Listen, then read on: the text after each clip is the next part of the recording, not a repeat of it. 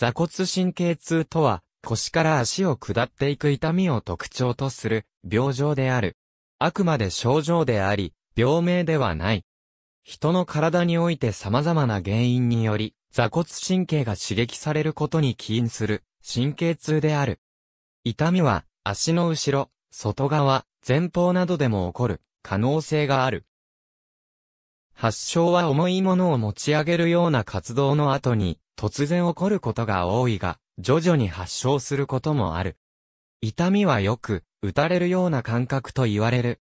通常、症状は体の片側だけに現れる。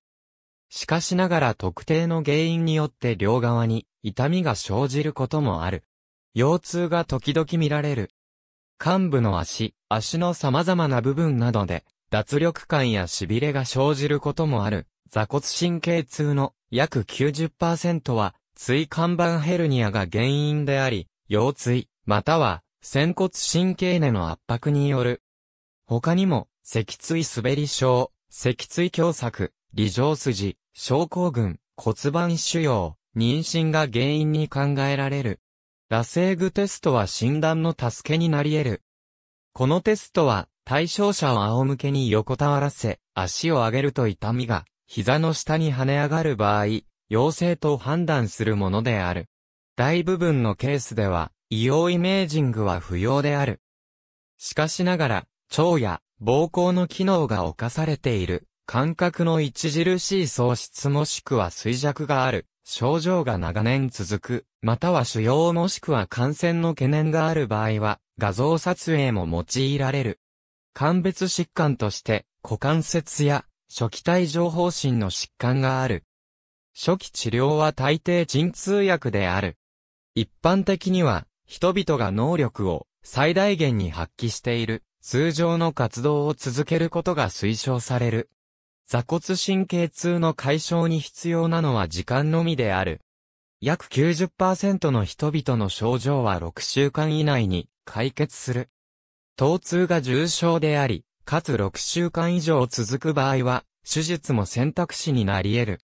手術は疼痛を改善させる、多いが、その長期的な利益は不明である。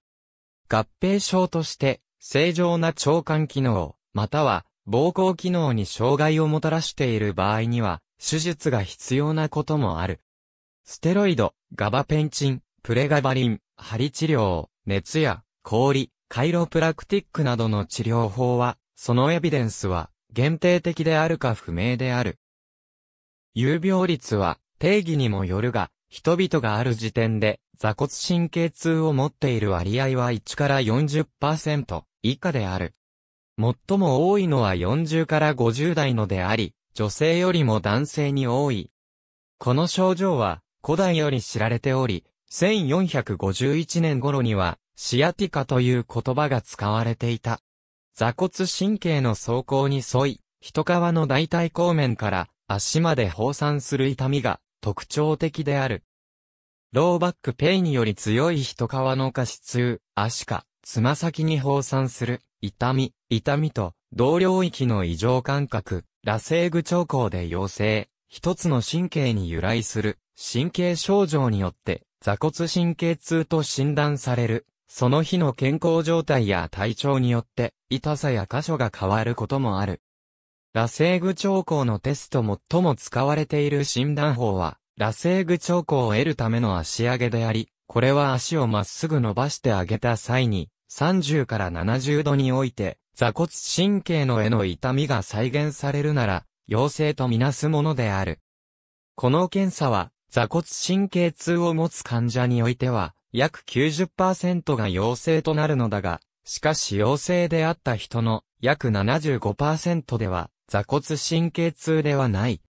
座骨神経痛に罹患していない方の足をまっすぐ引き上げると、罹患している側の足に座骨神経痛が生じることがある。これは、フェジェルツタイン兆候して知られる。この存在は、ラセーグ兆候よりも、より椎間板ヘルニアを特定する兆候となり得る咳、首の屈曲、首静脈の両側圧迫といった、脊椎内圧を上昇させる運動は、座骨神経痛を悪化させる可能性がある。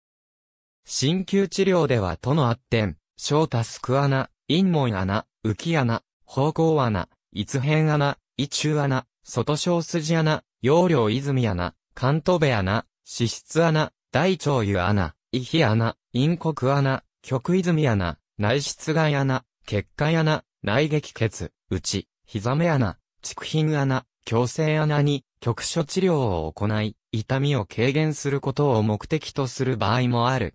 ありがとうございます。